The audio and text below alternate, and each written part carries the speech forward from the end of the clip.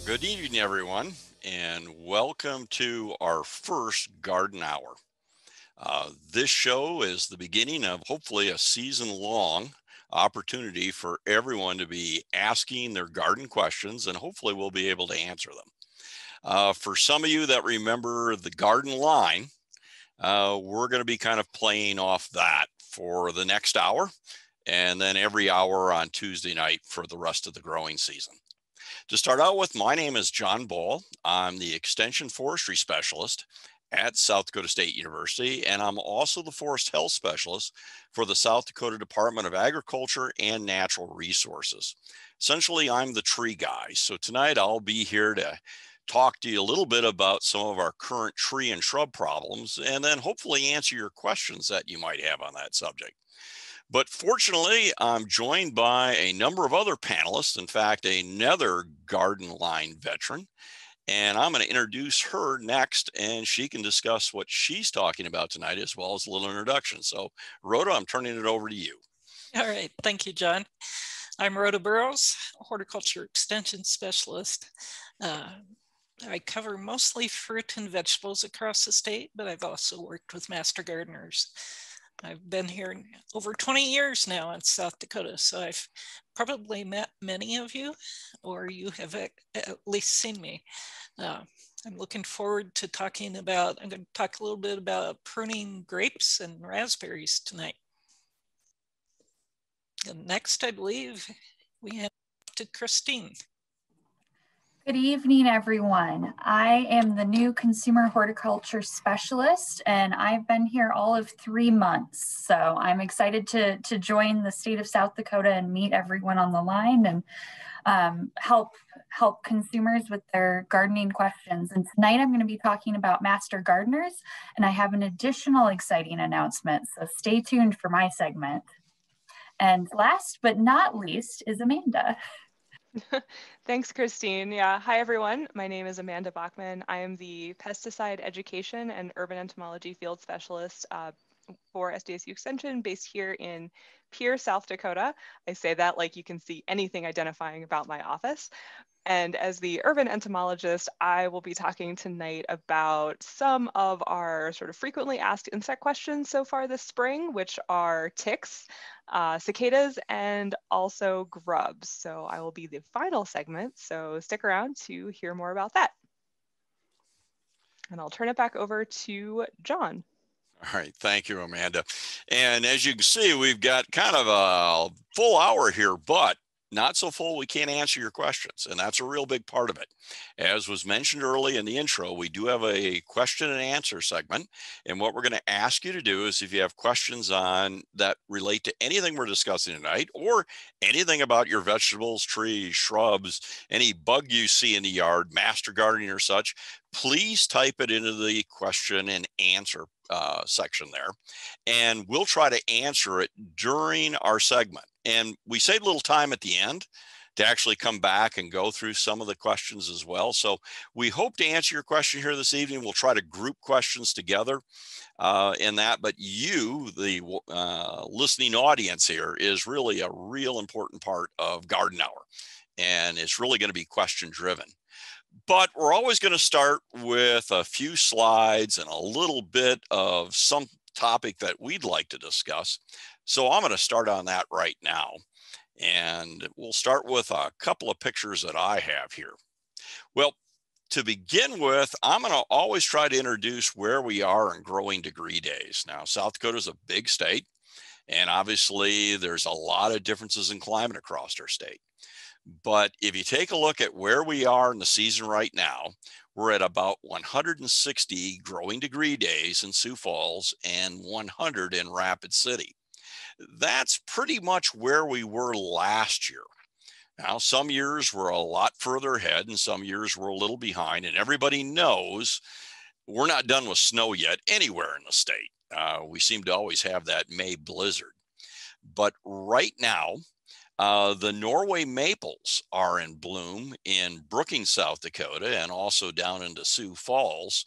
And what you'll find is that when plants bloom, in other words, it's been warm enough long enough for them to begin flowering, it's usually warm enough long enough for certain insects and diseases to start developing. So we use phenology, you know, how plants are developing to give us an idea as to when we need to do treatments rather than just base everything strictly on a calendar. I've seen the Norway maples bloom as early as the middle of April and as late as the middle of May. So like I say, we're kind of almost in the middle, maybe a little slower than, than what normal is. But when we have this tree in bloom, we also have start seeing some pests. So Amanda, my next slide. Ah, look at that, tent caterpillars. If you're out right now walking on a path or something like that, you'll take a look and you'll see this webbing starting to develop on the trees.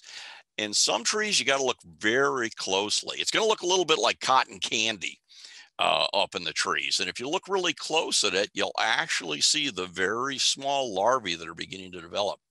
Now, right now, they're really not causing any problems. They're just babies. But when they get to be kids, they're going to be a little rambunctious and they're going to start working their way out on the leaves and munching through them. Now, right now, they're fairly easy to control. That webbing that you see is actually a means of protecting them. It helps reduce the environmental problems that we have. It's too hot or too cold. Uh, they like a little shelter at night. And it also keeps everything that wants to eat them from getting to them.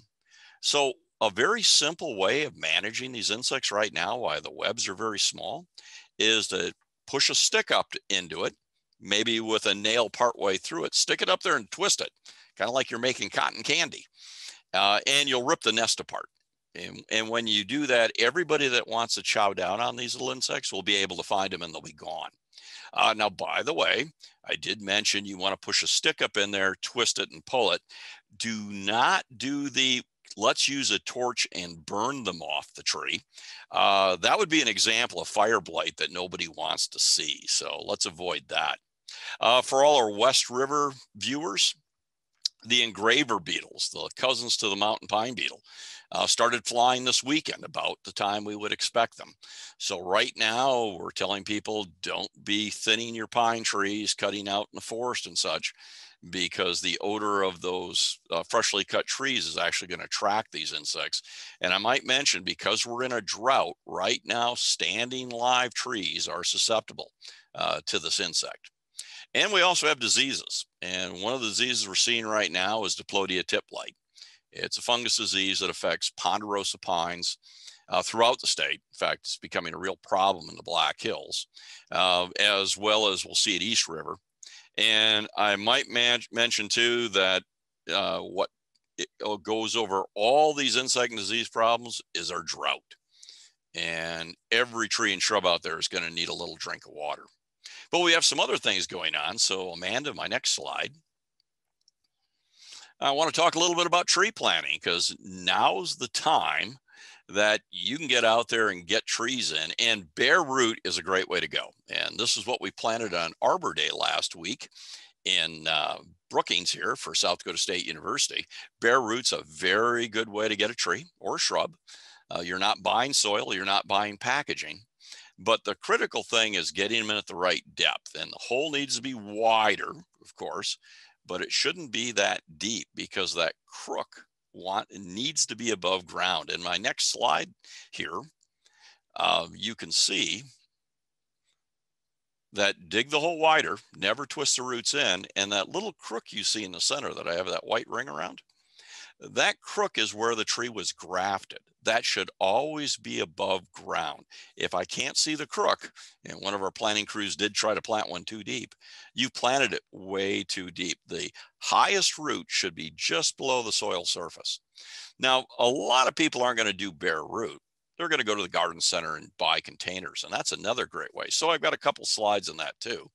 And Amanda, my next slide looks at container plants try to dig the hole about two to three times wider than the size of the container ball. And the only soil going back into that hole is the soil you took out. And you might say, well, why did I do that at all then? Uh, the reason was to loosen up the soil. You don't want to change the texture. You don't want to add peat.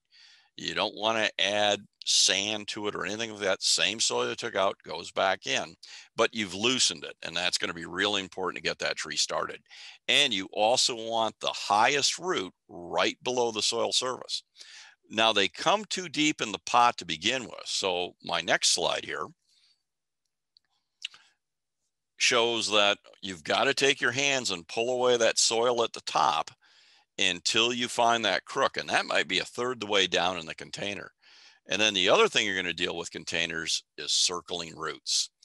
And if we don't start breaking up those circling roots, they can actually become girdling roots and end up strangling the tree at some point in the future, five or sometimes 10 years away.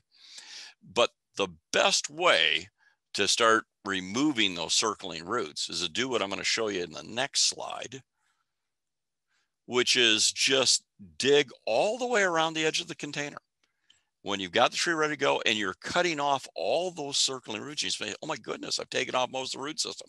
You've taken off the bad part of the root system.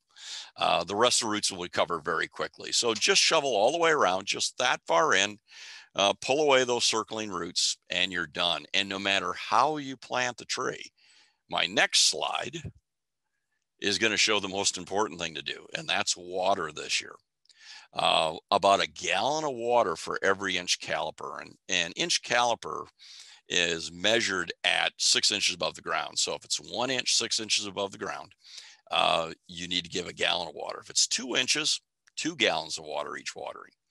And ideally, for the first two weeks after you plant a tree, if it hasn't rained, water it daily. Uh, that's a real critical thing. And for everyone here looking to get shelter belts in, this year, absolutely. Every seedling, the second it's planted, it gets a pint of water. And if you get, get a pint of water every two or three days for the rest of the summer, that would be a big help.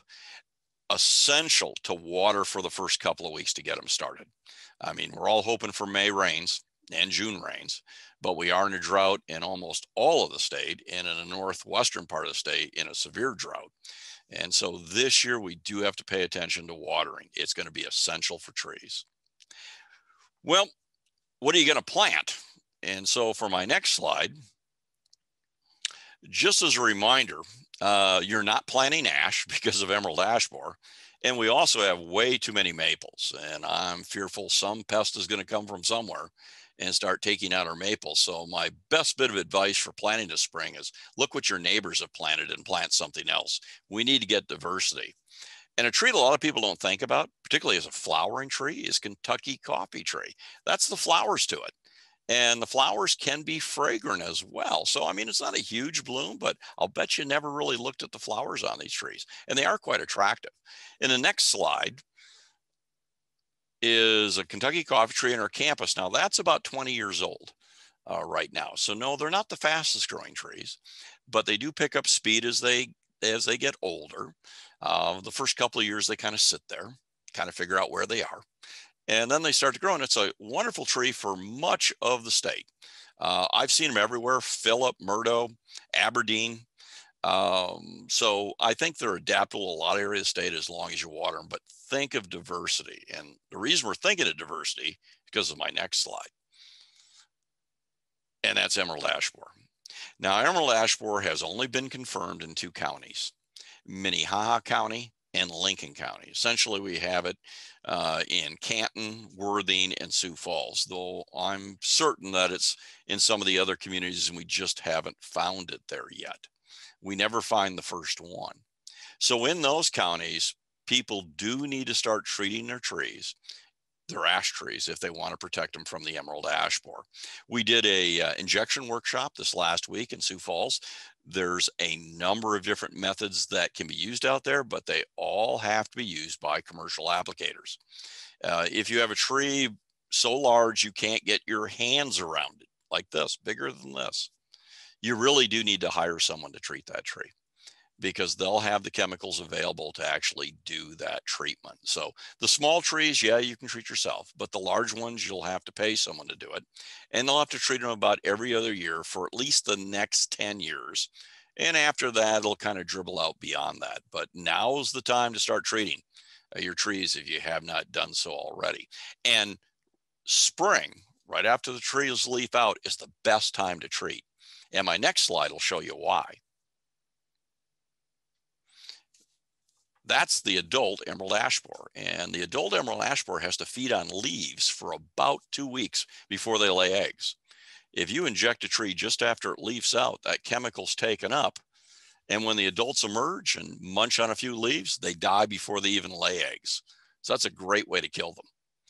Next slide will show that, well, if you didn't get it quite in time, you'll be able to kill the larvae while they're very small too. So while you can actually inject a tree throughout the growing season, the sweet spot, the time to treat that we actually get the most bang for our buck is actually treating from leaf out till the end of June because the chemical there will kill the adults as they're feeding before they lay eggs.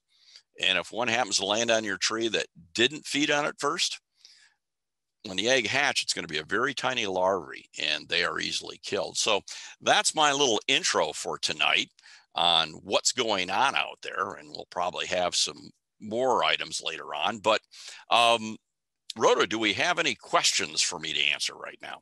We do. Um, one person asked, can you root wash a container tree to visualize the root system and in essence make it a bare root tree? Absolutely, yes. In fact, that's the best way to plant a container tree or shrub is to wash as much of that soil off as you can because that's going to loosen up the root system and plant it. After all, you don't need that soil when you're planting it and the better connection, better knit you can get with surrounding soil, the better. So I highly recommend trying to wash as much of that off as you can. Excellent question. Do we have a couple of more? Yes, we do. Uh, when is the best time to prune bushes like burning bush, dogwood, red twig, etc., and how much should you prune at a time? Well, we're kind of getting at the very end of that season. Uh, so once the plants start leafing out, we're kind of done. And I know some areas we haven't had the dogwoods breaking bud yet. If they haven't broke bud yet, prune them off at about two inches above the ground and remove about a third of the canes. So a third of the canes, but you're going to cut them off at two inches above the ground. Now, burning bush is a whole nother beast. You don't prune that close to the ground. Instead, you just thin out some of the branches. Heavy pruning on burning bush is most likely to kill it. And sometimes the deer will do that for you.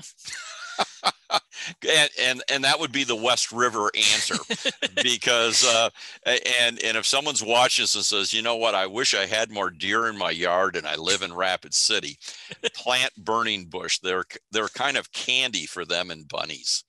Um, I think I have about a minute or two. Is there any additional questions?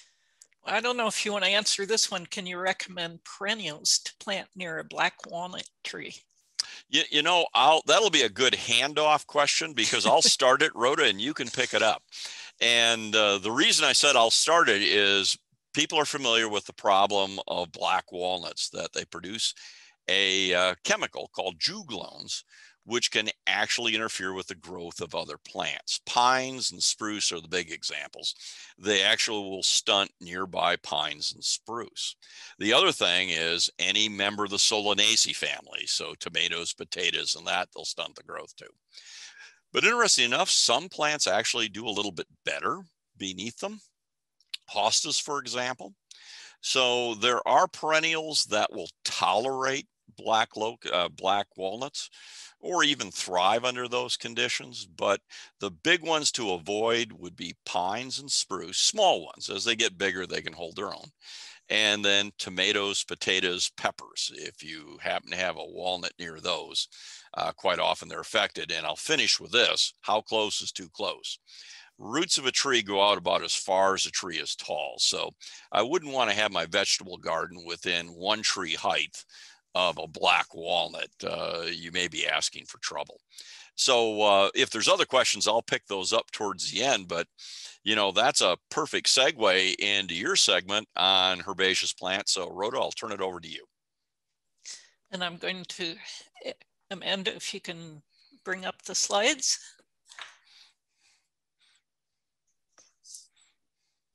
And I'm going to go into uh, raspberries, which I believe are also not terribly tolerant of of uh, black walnut. I, I, wanted to bring this up because now is a great time to make sure if you have not already uh, pruned and thinned out your raspberry patch. Uh, this is an example of about the spacing you want. You'd, you'd, like to have at least a hand's width between canes, three or four canes per square foot. And remember, as the season uh, progresses, the patch is going to be sending up new shoots that will be the canes for next year. So this can get pretty crowded in here in a hurry. The more open it is, the more light penetrates. You'll have a little bit less problem with uh, spotted wing Drosophila, which is a fruit fly that's become a problem for us. So uh, healthy plants need lots of light and lots of room. Next slide, please. Uh, this is also the time when we prune grapevines and uh, they're one of the last plants to leaf out, uh, probably along with oaks. So we have a little bit more time in the spring to get to those. Uh, sometimes people get worried when they are pruning their grapevine and it starts bleeding and it can throw out a lot of water uh, and, and people get concerned don't don't worry about it. It's perfectly fine uh, to have that bleeding. It helps reestablish the water column within the within the plant. So that's perfectly fine. The later that you prune it, uh, you can actually delay uh, bud break a little bit um, by leaving it until the last minute. So uh, this is one way to prune a grapevine. We have a center trunk, which will be uh, will be at least three years old, maybe four five, six, even 10 or 20. Um, and then this is, this is a, a way that we train our master gardeners to do it because it's fairly simple. You take four canes and you can see them going out horizontally, just four canes. What are canes? They're the shoots that grew last year. So they were green towards the end of the summer, they turned brown. Those are the one year old canes. Grapes produce fruit only on buds that come, that grow from those one year old canes. Older wood does not produce fruit. So we put our attention on last year's shoots. We spread them out so they have lots of room. And then each one of those buds on the cane will produce a shoot with up to three clusters of fruit on it. Now, if it's got three clusters, most of the time we'll take off the third because it's smaller and may not have as good quality fruit. But you'll see that, that it fills in pretty quick during the, during the summer. So that will be a solid sheet of green by midsummer.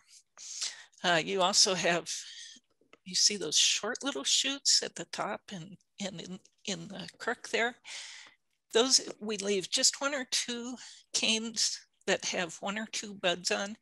The shoots that grow out from those are what you're going to use for next year, 2022, when you prune and need uh, to replace the shoots that you put out this year. Next slide, please. This is a different way of pruning that's often used commercially. And uh, in this case, instead of just four canes, we're actually producing multiple year arms. They're called cordons. So that's older wood that we stretch out along the top wire here. And then from each of those, we select canes that are spaced out and each of those canes will have three or four buds on them. And each of those buds, again, will produce a shoot with fruit. So you end up with a solid, uh, again, a solid curtain of green uh, with fruit hanging down from it. And then again, we leave short little one or two uh, length, uh, bud length uh, spurs we call them, that will be the re renewal for next year's, that will form those canes for next year's. So the principles for pruning grapes, the, the nice thing about grapes is they're vines. They're not gonna get upset when you prune them. You decide that you didn't like the way you did it last year, you can completely redo it. I know a grape grower who's probably used at least four different training methods over time. He decides he likes it one way and then, then that's not working out quite right. So he goes another. So it's not like trees where you prune it and, and boy, you're committed for the rest of the, the life of that tree. Uh, with grapes, if all else fails, you can even come off at the ground and let them come up again. So don't be afraid to prune your grapes.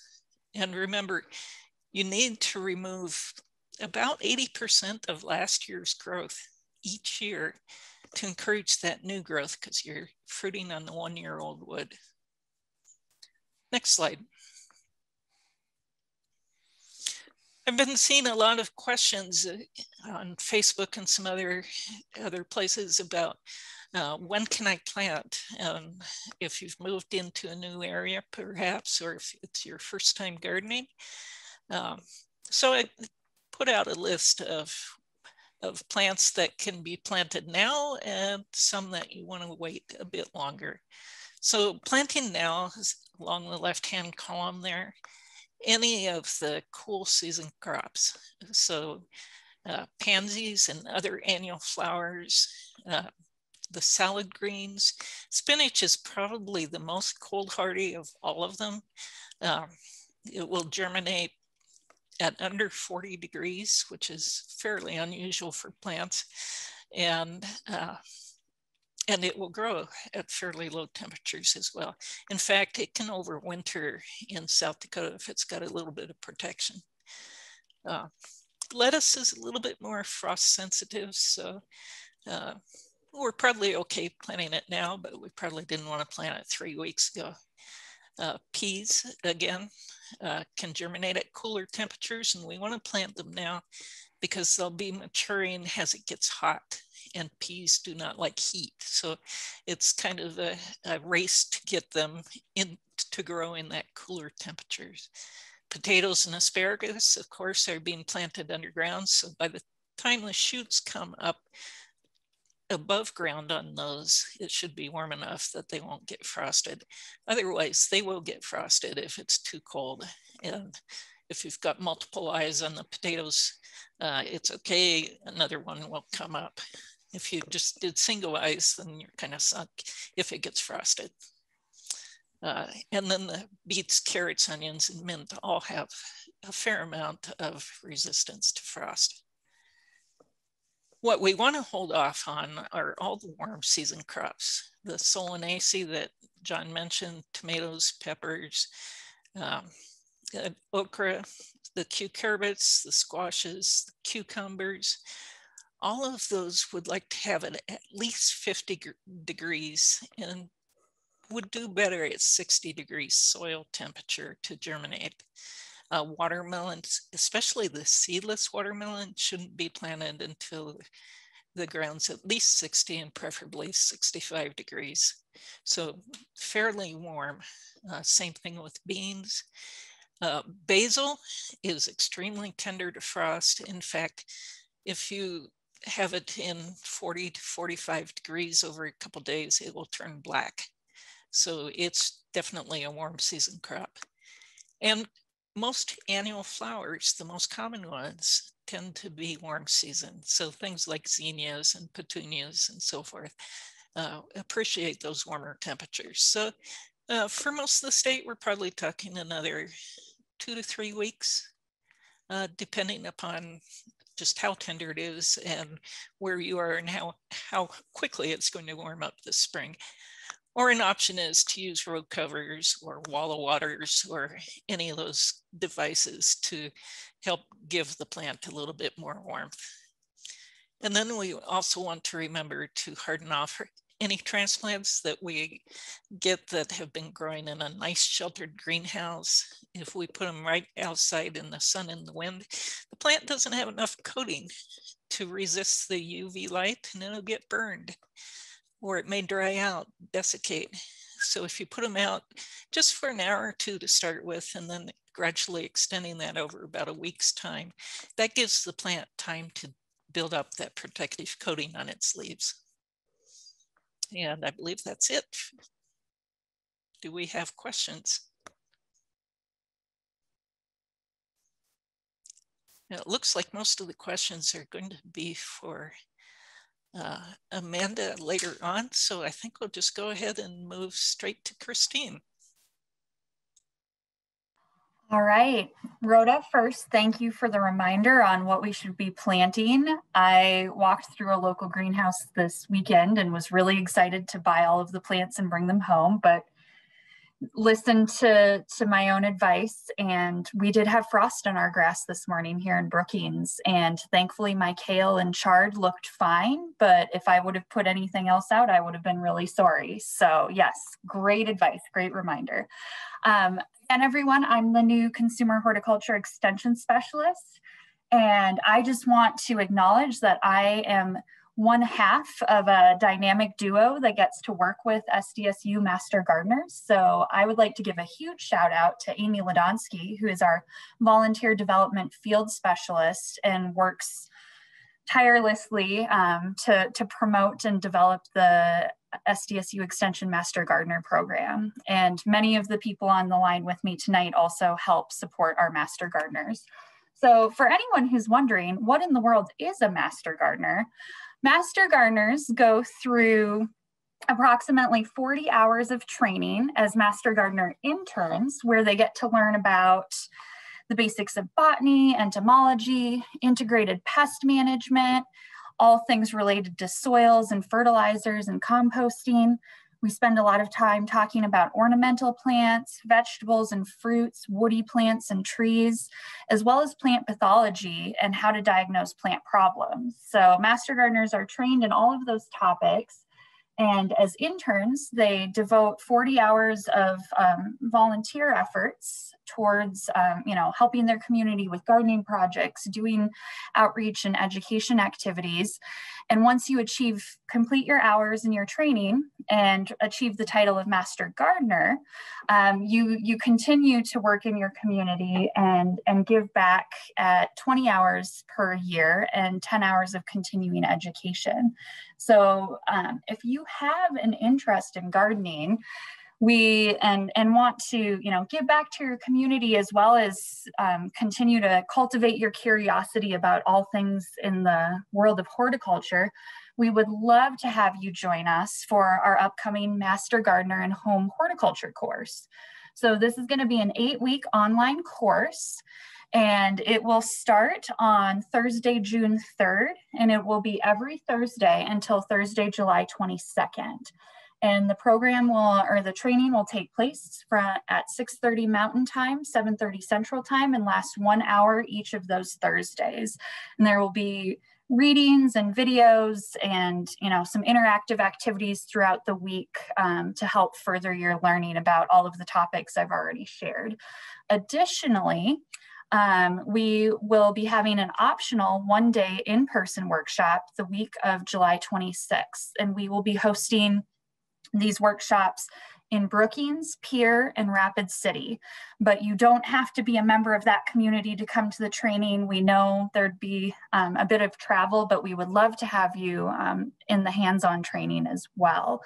And um, this would be a great opportunity for you to join over 14 or join our 14 Master Gardener clubs. And we have approximately 400 master gardeners across the state. So this is also a great opportunity to meet other gardeners and people who are maybe interested in similar topics like you um, or have a different area of expertise. We have folks that are really interested in seed saving. Um, we have experts in hybridizing irises and people that are, you know, know can name every tomato cultivar even though i can't do that. So i'm very grateful for all of our master gardeners and their skill sets. So um, please consider joining us. Um, the sign up is going to be online. We will be sharing the website where you can register for the training and applications and registration are going to be due by may 17th um, other ways that you can continue to follow along with Master Gardener activities would be um, visiting us at extension.sdstate.edu where we have a dedicated Master Gardener page, as well as our overall garden and yard page where you can, you know, find all of our extension resources and activities. And then also feel free to engage with Master Gardeners on Facebook at SDSU Extension Master Gardeners. And I was just, uh, I'm just a short segment tonight, but I'm happy to answer any questions about Master Gardeners. But I'd be remiss if I didn't share the announcement that Tulip Palooza has been declared at McCrory Gardens. So um, please plan to make a trip to Brookings, South Dakota. McCrory Gardens is part of our South Dakota State University family, and it's an incredible opportunity to see all of the spring blooms and get some ideas for some new plants to incorporate into your next container planting or landscaping project. So we, we hope to see you at Tulip Palooza. The the tulips really are gorgeous right now. So we'd love to see you. And um, if there are any questions for me, I'm happy to address them. And if not, and we'll I know we'll have some more time for questions. So I'm going to happily hand the discussion over to Amanda. Okay, I'm the slide master tonight, so I'm juggling multiple windows. Thank you very much, Kristine. I wish I was in Brookings to see Tulip Palooza. I only have one volunteer tulip in my yard right now, and it's almost done blooming. So you guys out in the Brookings area are very lucky to have such a great resource in your backyard. And a housekeeping note, if you've been following along in the chat, I have been throwing some resources up there as folks have been mentioning them. So if you do want the link for the Master Gardeners, that's there in the chat, as well as some direct links to the vegetable gardening resources. And thank you so much to everybody that's been submitting questions in the Q&A. Those of you that are in attendee view mode, you can also click on the Q&A and see the questions that we've been typing answers to if you're curious what your neighbors and fellow South Dakotans have been asking about. But I'm going to go over a few things about some of the insects and arthropods that we have been getting questions about here at SDSU Extension so far this spring. I'm starting with ticks because they're sort of the uh, give people the creeps critter and they're also not an insect. Um, for those of you who need the crash course in your intro to entomology, ticks are arachnids, so they're in there with the spiders. They have eight legs versus six legs uh, that our insects have, and you can see that really nicely here in this picture of an American dog tick. So don't worry, we'll get to pictures of uh, less perhaps squicky arthropods in a minute, but I did want to showcase sort of the most common uh, tick that we have here in South Dakota. The American dog tick is widespread across the state. It's the one I see all the time here in Pierre, but you can find it pretty much in every corner of the state. It does vector a couple of diseases, so it is important that if you are out and about and starting to see ticks on yourself or on your pets, that you do make sure that you are treating your animals with a tick prevent uh, tick preventative, um, and that also for you that you're protecting yourself and making sure that you are, you know, wearing sort of appropriate clothing and um, making sure to use a repellent that is labeled for ticks. I, you know, was out on La Framboise um, on Saturday for a couple hours, and I did make sure to spray my feet and my ankles with DEET because uh, La Fram is one of our tick central places here in the Pierre area. Um, and if people have questions about ticks, um, you are welcome to throw those into the chat. Um, we do have the black-legged tick, which is sort of the rename of the deer tick, for those of you who may be um, sort of from the eastern part of the country. Um, but the black-legged tick um, is really only in sort of the eastern third of South Dakota, so it's not widespread across the state. And then we also have um, a Rocky Mountain tick that is, you know, very much in just sort of the Black Hills area. So we do have some, a couple different species, um, and it is important to prevent tick bites and stay vigilant because they can vector some diseases and nobody wants the Lone Star tick because that's the one that can make you allergic to red meat. So wear your repellent. And let's see, what is my next? Next slide is talking about grubs. So we have um, June beetles, which I think from a report from my colleague Adam Varenhorst in Brookings uh, said that he was starting to see some in that area. But these are the really, as adults, they're the really large brown beetle um, and they don't fly very well. And that's sort of how people notice them. They're very much attracted to light. And so that's how we see, you know, sort of the adult of this critter. But as larvae, they are, you know, some of our white grubs. And you can see this image here is sort of your characteristic white grub. They curl up into like a C shape when they're dug out of the soil. They have a tan or brown head capsule, and then of course their true legs here. The end of their abdomen is a bit darker, um, and that's because that's where sort of the digested soil and root bits are hanging out before they sort of, you know, poop them out the other end. So if you do handle grubs, uh, you are liable to get pooped on, which is kind of fun. Also, I'm an entomologist, and yeah, we, we think some different insect behaviors are a little bit more endearing than the rest of the population. Um, but in lawns, as in pastures, what grubs do is they feed on the roots of grasses mostly, sometimes other plants, but in really high infestations, we'll see these dead patches start to show up. And it can be especially, you know, especially exacerbated by drought conditions. So this is a year where we are sort of ending a large population's life cycle. So the grubs are at their sort of, you know, biggest size. Uh, they're going to pupate, they're going to emerge as adults. So they've been causing a lot of damage over the past couple of seasons.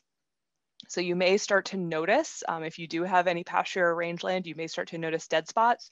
If you do notice those, go ahead and scout at the edges of those spots. As the grubs feed, they'll move sort of away from the center and be feeding on sort of the fresh grass roots. So check those edges. You can sometimes peel back the turf like it's a carpet and look for, you know, grubs underneath. In a lawn, the same thing applies. If you see dead spots in your lawn, especially if they're very large, that kind of indicates that it's not a disease and that there's something else going on pull back that turf at the edges of the dead spot and see what's going on. Um, you usually don't have to, especially now that the soil's warming up, you don't have to dig very far in order to find the grubs.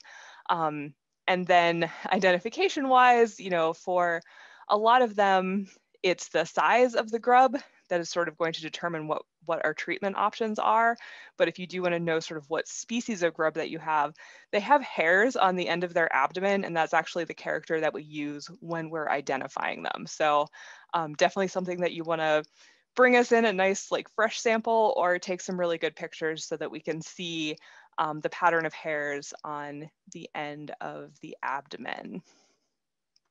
So that is what I've got on grubs. And then sort of my final sort of fun insect are the cicadas. I am originally from uh, central Pennsylvania, so I've actually lived through a couple of the periodical, periodical cicada brood emergences, and I am kind of I'm super sad that I'm currently not in the DC area um, this spring to encounter this year's brood emergence. Um, so brood 10 is emerging in the, the DC, uh, Delmarva area, and it is one of the largest broods of periodical cicadas. They come out every 17 years, and the picture here in the top corner with the red eyes, that's the periodical cicada. So we do have cicadas here in South Dakota, um, but we have, you know, they'll emerge every year they don't have the red eyes.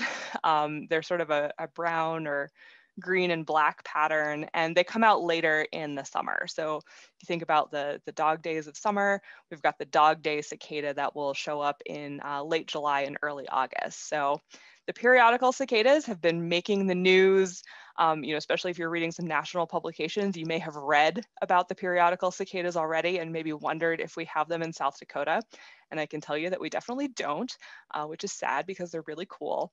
Uh, but they're definitely much more of an east of the Mississippi um, phenomenon, and our cicadas aren't going to be showing up until much later in the summer. Um, but yeah, they, you know, emerge from the ground, crawl up in the trees, uh, yell for a couple of weeks, mate, lay eggs, and then die and mass. Um, so it's going to be a boon for the critters on the East Coast um, because cicadas are tasty. And that was a thing I forgot to mention with the grubs is one of the things that we notice with grubs too is uh, critters, badgers, skunks, other things will come and dig up yards and pastures looking for those tasty, tasty grubs. So if you're seeing that kind of damage too, that's another indicator that you need to scout for grubs. So that is what I had for sort of our quick insect update uh, as far as questions we've been getting. And I know that you know, I'll be back for some insect updates in June. Um, you guys won't see me on Garden Hour uh, for the rest of May. I've got another commitment. But if you have any questions about insects or anything that you've been seeing in your yard, um, feel free to go ahead and throw those in the Q&A. And I will kind of um, call out one of the questions that I did answer while Kristine was talking. It was a great question um, asking about some um, insect control options and you know asking about a certain um, uh, active ingredient. And one thing that I really advocate with managing any sort of pest in your garden is you want to make sure that you're you, that you've got a proper identification first. Uh, luckily here at SDSU Extension, we've got you know insect experts, we've got plant experts, we've got plant disease experts, um, because not every kind of damage that you see in a garden is going to be caused by insects. I know insects tend to get a lot of the blame because they're the thing that like we see when we go out in the garden, um, but we've got a lot of arthropods and insects out there that are actually doing good things good things for us. And you know we need to make sure that we're managing problems appropriately so that we don't inadvertently damage them.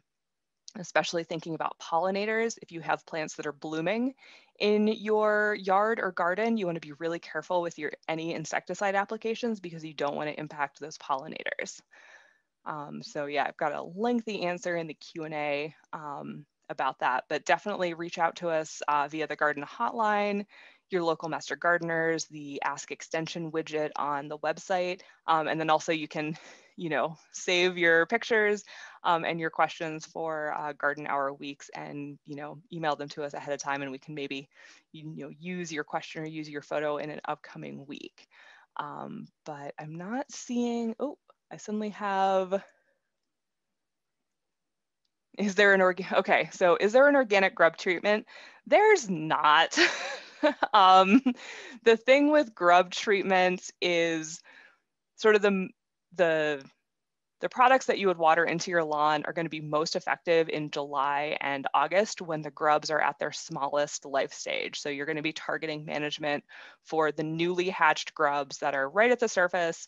They're small and they'll be um, they'll be sort of manageable at that stage with an insecticide, but there are no um, organic options. Um, and one thing as an entomologist is like, I'm pretty chill about all the insects in my yard. I just let things sort of live their lives um, to try to reach, you know, kind of a balance in what's happening in my yard. Um, but yeah, there's no organic grub treatments. Um, okay, and how and when? Yeah, mostly uh, July to August is when we do our treatments here in South Dakota as far as being um, what we would consider to be preventative. Um, at this point, the grubs are sort of at their largest size and also pupating. Um, so they're not going to be taking up any product. And so this is not going to be a great time to treat them. But sort of mid to not quite late, but midsummer is really when we want to target those grub treatments.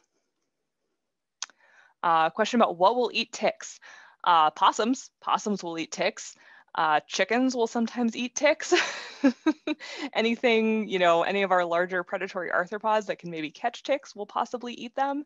Um, but sort of possums are touted as being the mammal that is sort of the best control of you know, best control for ticks. But really, uh, as far as people and keeping ticks off of you, you really can't beat um, using an appropriately labeled insect repellent. Um, there's we're, we're never going to eliminate ticks from a landscape. So really the best thing that you can do is to um, put the put the treatment on you. Um, and I've got a pinch hit from Adam. Thank you about grubs. Uh, yeah, milky spore um, is an option, but one of the things out here is it's so like you've got to be committed to water as far as you know getting them sort of watered in.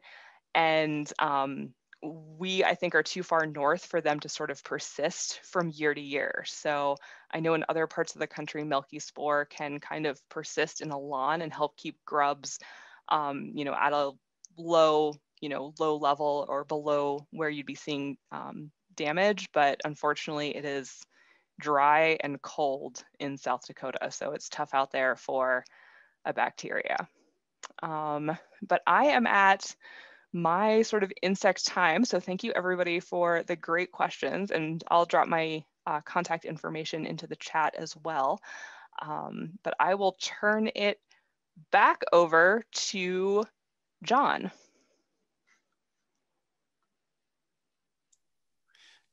Thank you, uh, Amanda. And, you know, that was great. Uh, but a couple things I'm in complete agreement with you with milky spore disease. It was something that we did use out east, but out east we had a combination of moisture and relatively warm winters. And there's been some real good work that shows you start getting out here on the plains and it just really isn't effective. So, uh, unfortunately, it is a problem we almost have to live with. But I think our last outbreak was maybe three years ago or four years ago, because as a tree person, what I remember is the grubs, when they're adults, like to munch on tree leaves. And they're also night feeders. And so I would have people that would say, uh, I don't know what's defoliating my tree. It's uh, the leaves are gone, but I never see anything on it. Well, you got to be out there at about two in the morning. And it doesn't help if you keep your yard light on either, because they are somewhat attracted to uh, to that as well. Uh, so, uh, you know, it is probably going to be a bad year, uh, a good year for entomologists, but a bad year if you like your lawns or your woody plants. By the way, the other way you know you have white grubs, you meaning your lawn, is uh, this uh, this year you'll notice the skunks will tear up your entire yard to get them, uh, and sometimes actually it's the skunks that cause more damage than the uh, white grubs, just because you know, you look out there and you go, oh my gosh, what came in at night and literally shredded my entire lawn or large patches. And you'll find you have white grubs, or now you have half a white grub uh, here or there. But uh, yeah, skunks are very good at taking them out, but I wouldn't really look at them as very good control.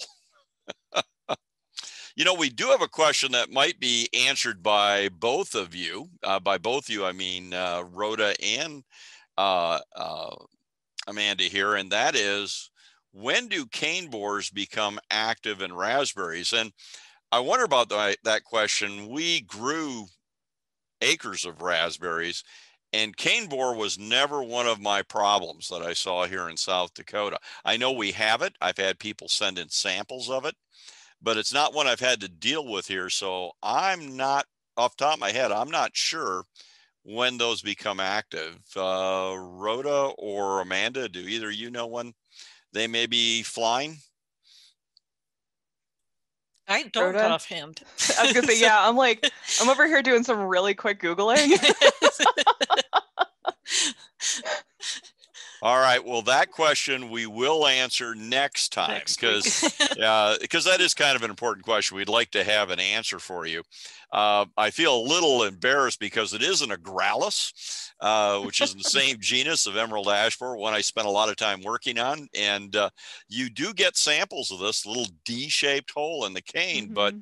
but um, you know the the real problem I've dealt with, Rhoda, on uh, raspberries. Well, there was really just one, and that's a spotted wing Drosophila.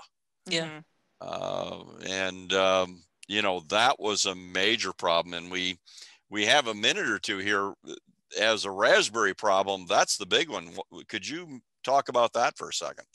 Well, I, I, I think we'll talk about that again more during the summer when we get when we get closer to to fruit bearing. It can actually get in the strawberries too. Mm-hmm in the past, it's come in later in the summer, but some years recently it's come in earlier. Um, so I used to say plant summer bearing raspberries and you know avoid it, but I don't think that's the case anymore, unfortunately. Um, it's one that we're learning more about all the time.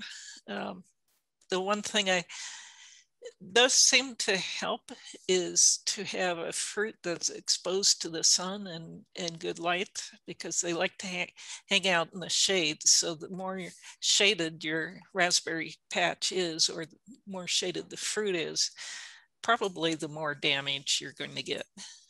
And like I said, we'll bring in some pictures probably in a few weeks.